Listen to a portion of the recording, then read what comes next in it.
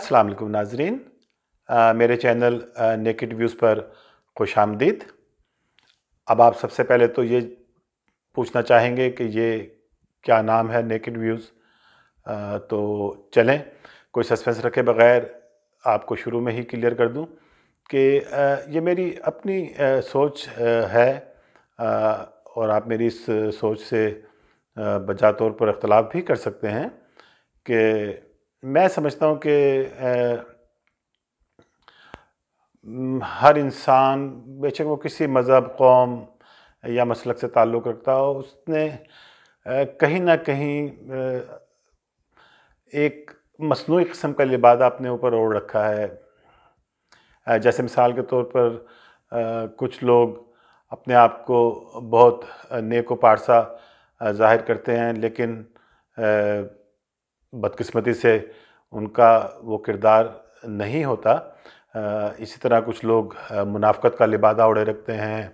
میں آپ کے سامنے بیٹھا ہوں، پتہ نہیں اپنے آپ کو کیا فن خان یا بہت بڑا انٹلیکچوئل سمجھ رہا ہوں گا، اور وہ سمجھ کر آپ سے مخاطب ہوں۔ تو میرا یہ چینل اصل میں لانچ کرنے کا جو بنیادی مقصد تھا، وہ یہی تھا کہ میں چاہتا ہوں کہ ہم ان لبادوں کو اتاریں، اس سے باہر نکلیں اور دیکھیں کہ ہمارے اندر کیا خامیاں ہیں۔ جب تک ہم اپنی خامیوں کا خود سے محاسبہ نہیں کریں گے، تو میرا خیال ہے کہ ہم ایک بہتر انسان نہیں بن پائیں گے۔ اب سچی بات ہے کہ میں تو سمجھتا ہوں کہ سب سے پہلے ہمیں انسان ہی بننے کی طرف توجہ دینی چاہیے۔ لیکن شاید ہمارا مسئلہ یہ بھی ہے کہ ہم انسان بننے سے پہلے چلیں۔ میں اور کھل کے بات کرتا ہوں۔ ہاں، ہم مسلمان بن جاتے ہیں۔ تو اب مسلمان تو ٹھیک ہے، بن جانا بہت اچھی بات ہے۔ اللہ کرے، میں تو کہتا ہوں کہ ساری دنیا میں سب لوگ مسلمان ہو جائیں۔ لیکن اب میں اپنے آپ کو اگر دیکھوں کہ میں ایک مسلم گھرانے میں پیدا ہوا تو اس لیے میں مسلمان ہوں، تو میں سمجھتا ہوں کہ اس میں میرا تو کوئی کمال نہیں ہے۔ اگر میں کسی ہندو گھرانے میں پیدا ہو جاتا یا میرے ماں باپ کا کوئی اور مذہب ہوتا تو میرا بھی وہی مذہب ہونا تھا۔ تو اب اگر ہم اپنے آپ کو مسلمان کہلواتے ہیں اور الحمدللہ ہم مسلمان ہیں تو میرا جو کہنے کا مقصد ہے وہ یہ کہ سب سے پہلے تو ہمیں اپنے مذہب کو سمجھنا چاہیے اور اپنے مذہب کو سمجھنے کے لیے سب سے جو میں سمجھتا ہوں کہ معتبر ذریعہ اس وقت ہمارے پاس موجود ہے، وہ کلام پاک قرآن مجید کی شکل میں موجود ہے۔ تو ہم کیوں نہیں اس کو ترجمے کے ساتھ، اس کو پڑھتے؟ ہم ضرور، ہم ماشاءاللہ ہمارے تقریباً نوے فیصد، پچانوے فیصد بچوں نے قرآن شریف میں نے دیکھا ہے، ختم کر رکھا ہوتا ہے، بہت چھوٹی عمروں میں میں نے بھی کافی چھوٹی عمر میں قرآن شریف ختم کر لیا تھا لیکن شاید میں نے اس کو کافی دیر کے بعد سمجھنا شروع کیا، یہ میری بدقسمتی رہی۔ تو جو کمی یا خامی مجھ میں رہ گئی، میں نہیں چاہوں گا کہ وہ میرے آنے والی نسلوں میں بھی وہ چیز اسی طرح آگے بڑھے۔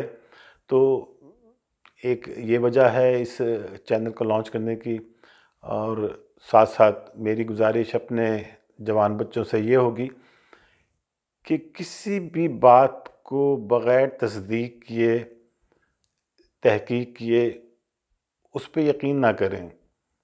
آپ کو طرح طرح کی باتیں سننے کو ملتی ہوں گی۔ پاکستان میں اس وقت سو سے زائد چینلز ہیں جو چوبیس گھنٹے جن کی نشریات آپ دیکھتے ہیں، سوشل میڈیا ہے۔ اس کے اوپر آپ کو طرح طرح کی، بھانت بھانت کی بولیاں سننے کو ملتی ہیں۔ کہیں کوئی صاحب کی چڑیا ہے، وہ کہیں سے خبریں لا رہی ہے۔ کسی صاحب کو چڑیل خبریں دے کے جا رہی ہے۔ کسی کا طوطا ہے، کسی کی مینا ہے۔ میرے پاس بھی ایک ووڈن اسٹیچو ہے دکھاتا ہوں آپ کو۔ جی یہ، اس کو دیکھیے آپ۔ اس کا یہ حصہ خالی ہے۔ ہاں البتہ اس کا سر موجود ہے۔ اور آپ سب جانتے ہیں کہ اس سر کے اندر ہی دماغ بھی ہوتا ہے۔ تو میری گزارش آپ سے یہ ہوگی کہ دماغ سے سوچنا شروع کریں۔ یہ دل پھیپڑے گردے، یہ چیزیں ان سے نہیں سوچا جاتا۔ میدا، یہ چیزیں سوچنے کے لیے نہیں ہوتی، سوچنے کے لیے اللہ تعالیٰ نے ہمیں دماغ دے رکھا ہے۔ اور ماشاء اللہ ہم سب کے پاس دماغ موجود ہے۔ تو دماغ سے سوچیں، لکیر کے فقیر مت بنیں۔ کہ کسی نے اگر کچھ کہہ دیا، کوئی بہت بڑی پرسنالٹی ہے، کوئی سیلیبریٹی ہے، کہ وہ آپ کو کوئی میسیج دے رہا ہے تو بس آپ اس پہ آنکھ بند کر کے یقین کر لیں۔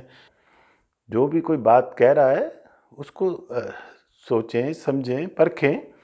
اور آج کل تو آپ کے پاس یہ اسمارٹ فون کی شکل میں پورا ایک سمجھ لیں کہ معلومات کا خزانہ آپ کی جیب میں موجود ہے، کوئی بھی خبر ہو، آپ اس کو گوگل کریں، اس پہ آپ کو سینکڑوں ایسے ذرائع، ایسے سورسز مل جائیں گے جہاں سے آپ اس خبر کی اتھنٹسٹی کو چیک کر سکتے ہیں۔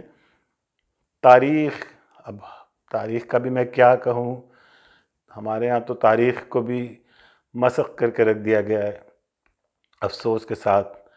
تو تاریخ کو بھی پڑھیں، لیکن اس کو بھی دو چار جگہ سے ویریفائی کر لیں۔ آپ کے بزرگ ہیں، ماشاءاللہ، ان کے پاس بیٹھا کریں، ان سے پوچھیں۔ بہت ساری چیزیں ان کی آنکھوں کے سامنے ہوئی ہوتی ہیں، ان کا جو مشاہدہ رہا ہے۔ تو یہ میرا، آج کے لیے تو میرا یہ پیغام ہوگا۔ تو آگے چل کے اس چینل پہ مزید چیزیں ڈسکس کریں گے کرنٹ افیئرس پہ بھی بات کریں گے ملکی سیاست انٹرنیشنل پولیٹکس ہمارے لوگوں کی جو خوبیاں، خامیاں بھی ڈسکس کریں گے۔ اس کے ساتھ دوسری جو سوسائٹیز ہیں، یورپ میں یا میں اور جہاں جہاں مطلب گھوما پھرا، ان جگہوں کے لوگوں کے بارے میں بھی بہت ساری چیزیں ایسی ہیں جو ہمیں ان کو سمجھنا چاہیے، دیکھنا چاہیے اسٹڈی کرنا چاہیے۔ آپ کو شاید معلوم نہ ہو، انگریزوں نے جو ہم پہ ڈیڑھ سو سال سے زیادہ حکومت کی تو اس نے ہمارے ایک ایک جو آپ سمجھ لیں کہ علاقوں میں رہنے والے لوگوں کے اوپر مختلف قومیتوں میں جن میں شامل ہیں، جیسے آپ سمجھ لیں کہ ہمارے پشتون بھائی ہیں، پنجابی بھائی، سندھی بھائی، بلوچی یا دوسرے ہندوستان میں جو سینکڑوں قومیں آباد ہیں، مختلف مذاہب سے ان کا تعلق یا مسلک کو وہ فالو کرتے ہیں۔ ان سب پہ انہوں نے بڑی تھورو ریسرچ کر رکھی ہے۔ اور وہ ریسرچ ایسی ہے کہ جس کو وہ ہمارے معاشرے میں، ہماری سوسائٹی میں بگاڑ پیدا کرنے کے لیے استعمال کرتے ہیں۔ تو یہ بہت ساری ایسی چیزیں ہیں جو ہم آگے آنے والے وقتوں میں ڈسکس کرتے رہیں گے۔ تو بس اپنا خیال رکھیں اور یہ کہ جیسے میں نے پہلے کہا کہ کوئی بھی خبر ہو، کوئی بات ہو اس کو تحقیق کریں بغیر تحقیق کے اس کو آگے بیان کرنے کے یا اپنے فیس بک یا واٹس ایپ پر اس کو شیئر کرنے سے پہلے اس کی کچھ تحقیق کر لیں کہ آیا وہ خبر درست بھی ہے یا نہیں۔ تو، اور درست خبر بھی کئی دفعہ اگر وہ معاشرے میں کوئی بگاڑ پیدا کر رہی ہے، کوئی سوسائٹی میں آپ کی کوئی مزید خرابی کا باعث ہو رہی تو کئی دفعہ بہتر ہے کہ مصلیت سے کام لیا کریں۔ سچی خبر بھی ہو تو اس کو کچھ اگر میرا خیال ہے کہ پھیلایا نہ جائے تو کئی دفعہ وہ بھی ہمارے لیے بہتر ہوتا ہے۔ خدا آپ کا اور ہمارا سب کا حامی و ناصر ہو۔ پاکستان زندہ باد۔